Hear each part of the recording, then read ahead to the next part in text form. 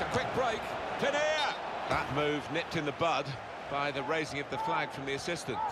To me like the timing of the pass and the run was spot on, but on closer inspection, no, he was off.